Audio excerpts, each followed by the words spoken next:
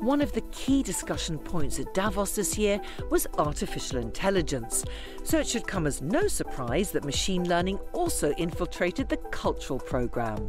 Refik Anadol presented Dataland, the world's first open source generative AI model exclusively dedicated to the natural world.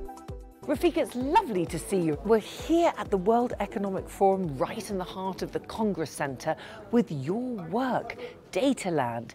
Tell me about this innovative artwork that you're presenting here. So we are here right now in front of an artwork, actually research work, that we called right now one of the most advanced AI model dedicated to nature. So what we are seeing right now, an AI trained on more than 50 million flora, fauna, and fungi information of a rainforests. So we are calling this large nature model, an AI trained on sound, image, text, and scent.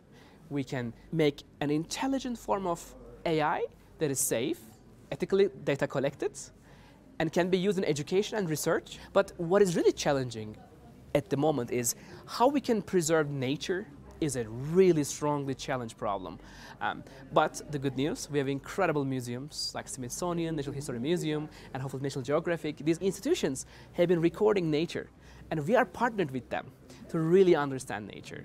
Refik, you're in control of everything. Show me how it works. Yes, so if I click this button, we can easily see, for example, the bee clusters. And we can click and see underwater like, you know, uh, creatures. We can see all type of beautiful like butterflies. Our hope is truly like bring new perspective and find ways of looking data from a new perspective.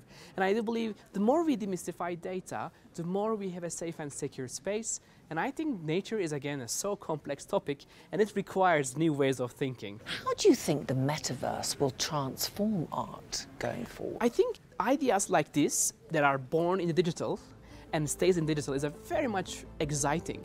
And I do believe this type of generative reality, a place where we can hear, see, and smell the machine dreams or like ideas or worlds.